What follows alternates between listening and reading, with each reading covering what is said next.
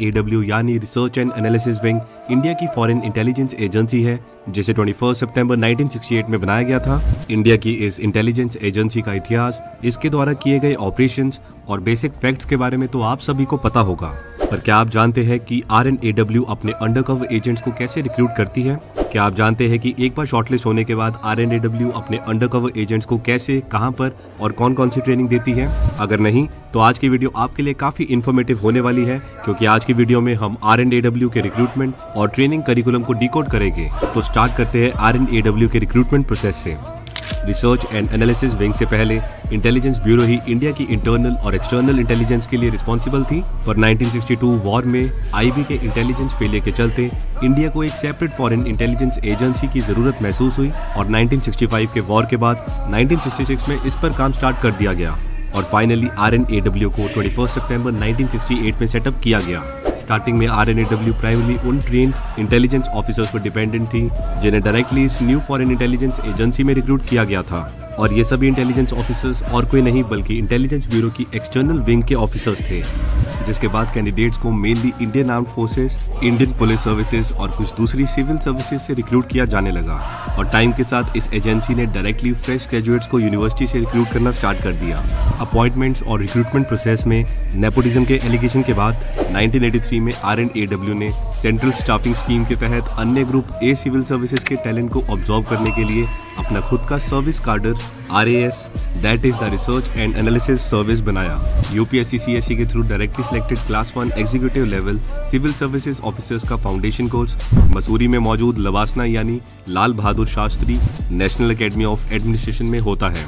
इस कोर्स के एंड में एक कैंपस इंटरव्यू कंडक्ट किया जाने लगा जिसमें साइकोलॉजी टेस्ट और इंटरव्यू के बेसिस पर कैंडिडेट को एक साल के लीन पीरियड के लिए एजेंसी में इंडक्ट किया जाता है। इस टाइम पीरियड में कैंडिडेट के पास अपनी पेरेंट सर्विस ज्वाइन करने का मौका होता है और वो जब चाहे तब आर एंड एडब्ल्यू को छोड़कर अपनी पेरेंट सर्विस रीज्वाइन कर सकता है और इस एक साल के बाद उन सभी कैंडिडेट्स को रिसर्च एंड एनालिसिस सर्विस में परमानेंटली ऑब्जॉर्व कर लिया जाता है। Delhi based security think tank institute for defence studies and analysis ने एक रिपोर्ट में बताया कि R and A W tail end syndrome से सफ़र कर रहा है जहाँ पर यूपीएससी एंट्रेंस एग्जामिनेशन क्लियर करने वाले कैंडिडेट्स की लिस्ट में पीछे आए कैंडिडेट्स को ये जॉब ऑफ़र हो रही है। दरअसल इस डायरेक्ट रिक्रूटमेंट के अलावा आर एन डब्ल्यू में आर्म फोर्सेज और group A civil services officers को लेटरल डेपुटेशन के थ्रू भी रिक्रूट किया जाता है। सिविल और डिफेंस सर्विस ऑफिसर्स परमानेंटली अपनी सर्विस से रिजाइन करके आरएएस ज्वाइन करते हैं। पर हाँ रिपोर्ट्स के अकॉर्डिंग ऑफिसर अगर चाहे तो एजेंसी में कुछ साल सर्व करने के बाद अपनी पेरेंट सर्विस ज्वाइन कर सकता है। ये देखा गया है कि ज़्यादातर सेक्रेटरीज जो आर के हेड होते हैं, वो इंडियन पुलिस सर्विस से हैं। इन सब के अलावा आर एन लिंग्विस्टिक्स और फ़ील्ड सब्जेक्ट एक्सपर्ट्स को भी ज़रूरत पड़ने पर रिक्रूट करती है। R and A W officers की service condition research and analysis wing recruitment cadre and service rules 1975 से गवर्न होती है। अब बात करते हैं ट्रेनिंग की। एक बार कैंडिडेट्स को सक्सेसफुली एजेंसी में रिक्रूट करने के बाद उन्हें प्रॉपर ट्रेनिंग दी जाती है। ये ट्रेनिंग करिकुलम इस पर भी डिपेंड करता है कि कैंडिडेट डायरेक्ट एंट्री के थ्रू आर एंड में रिक्रूट हुआ है या फिर लेटरल डेपुटेशन के थ्रू ट्रेनिंग भी डिफरेंट फेजेस में कंडक्ट की जाती है। Basic training basic training new recruits के मोराल को बूस्ट करने के लिए पेप टॉक्स के साथ होती है। ये दस दिन का फ़ेज़ होता है, जिसमें इंडक्टी को रियल वर्ल्ड इंटेलिजेंस और एस्पियोनाज से फेमिलियर कराया जाता है, जो कि मूवीज़ से बिल्कुल डिफरेंट होती है। बेसिक ट्रेनिंग में आगे common usage of trade craft techniques और क्लासिफिकेशन ऑफ़ इन्फॉर्मेशन पढ़ाई जाती है। Financial and economic analysis space technology information security energy security और साइंटिफिक नॉलेज भी रिक्रूट्स को दी जाती है।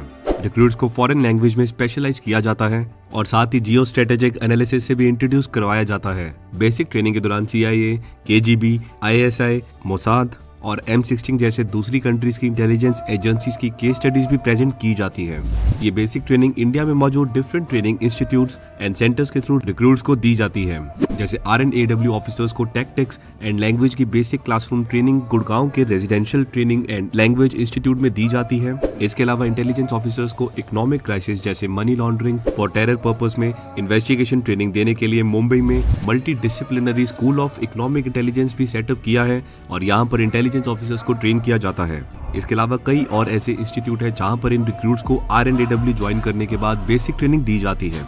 Advance training basic training successfully complete करने के बाद, सभी रिक्रूट्स को एफआईबी यानी फ़ील्ड इंटेलिजेंस ब्यूरो के साथ अटैच किया जाता है, जहाँ पर उनको एक से दो साल के लिए फर्दर ट्रेन किया जाता है।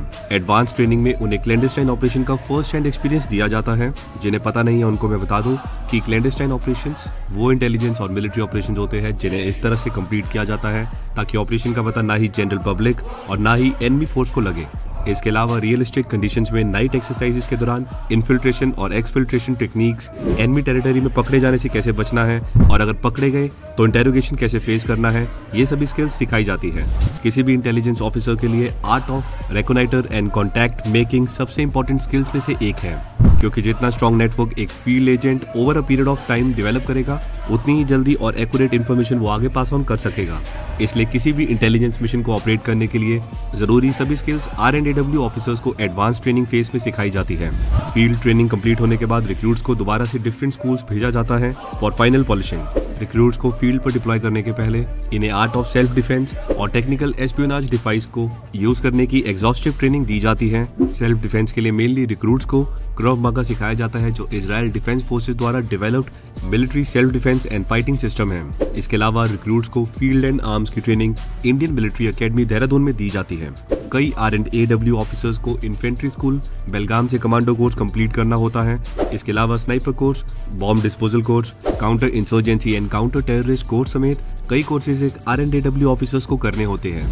यानी आप देख ही सकते हैं इंडियन आर्मी के प्रेस्टिजियस इंस्टीट्यूट में भी इन आर डब्ल्यू ऑफिसर को ट्रेन किया जाता है। मिलिट्री एस्पेक्ट के अलावा रिक्रूटमेंट्स को एडमिनिस्ट्रेटिव डिसिप्लिन में भी ट्रेन किया जाता है, ताकि उन्हें फॉरेन मिशन के लिए एज ए डिप्लोमेट भेजा जा सके और किसी को उनकी रियल आइडेंटिटी का पता भी ना चले। अच्छा ये बिल्कुल ज़रूरी नहीं है कि हर एक रिक्रूट को सेम ट्रेनिंग करिकुलम कंप्लीट करना है, बल्कि रिक्रूट्स को एज पर इंस्ट्रक्शंस एक एक करके असाइंड कोर्सेज कंप्लीट करने होते हैं। इनमें से कुछ रिक्रूट्स को तो इवन फॉरेन कंट्रीज़ में एडवांस ट्रेनिंग के लिए भेजा जाता है। फॉरेन कंट्री में भी सबसे फ़ेमस कंट्री है इसराइल जहाँ पर हमारे कई आर एन डब्ल्यू ऑफिसर्स को ट्रेनिंग मिली हुई है। इतनी लंबी ट्रेनिंग के बाद ये रिक्रूट्स रेडी हो जाते हैं फॉर डिप्लॉयमेंट कुछ रिक्रूट्स को national security guards defence forces या फिर दूसरी किसी गवर्नमेंट ऑर्गेनाइजेशन में अटैच कर दिया जाता है वही कुछ R N A W officers को एम्बेसी में अटैच कर दिया जाता है विद फॉल्स आइडेंटिटी ताकि वो इन्फॉर्मेशन गैदर कर सके, अपने इन्फॉर्मर्स के नेटवर्क सेटअप कर सके और टास्क मिलने पर accordingly as a cover agent operate कर सके। Field formation R and A W के पूरे इंडिया में टेन फ़ील्ड फॉर्मेशन हैं, जिन्हें स्पेशल ब्यूरो बोलते हैं और ये डिफरेंट ब्यूरोज बॉर्डर्स के अलॉन्ग मेजर सिटीज़ में लोकेटेड हैं। जैसे नॉर्दर्न जोन के हेडक्वार्टर्स जम्मू में है, जिसे एडिशनल सेक्रेटरी रैंक ऑफिसर द्वारा हेड किया जाता है। Similarly eastern zone south western zone और नॉर्थ ईस्टर्न जोन को जॉइंट सेक्रेटरी द्वारा हेड किया जाता है और इनके हेडक्वार्टर रिस्पेक्टिवली कोलकाता, मुंबई और शिलोंग में बेस्ड है। साउदर्न जोन और सेंट्रल जोन के हेडक्वार्टर रिस्पेक्टिवली चेन्नई और लखनऊ में बेस्ड है और इनको डायरेक्टर द्वारा हेड किया जाता है। और लास्ट में आता है वेस्टर्न जोन जिसका हेडक्वार्टर जोधपुर में मौजूद है और इसको डेप्यूटी सेक्रेटरी द्वारा हेड किया जाता है। R and A W abroad officers की स्ट्रेंथ लिमिटेड है, पर फिर भी ये फुली कैपेबल होते हैं for the collection of military economic scientific and political intelligence किसी भी कंट्री का कवर एजेंट एक डबल एज सॉर्ड होता है। ऐसे तो ये कवर एजेंट अपनी लाइफ को रिस्क पर रखकर एनमी कंट्री की सीक्रेट और कॉन्फिडेंशियल इन्फॉर्मेशन गैदर करते हैं, जिससे हमारी कंट्री को काफ़ी फ़ायदा होता है।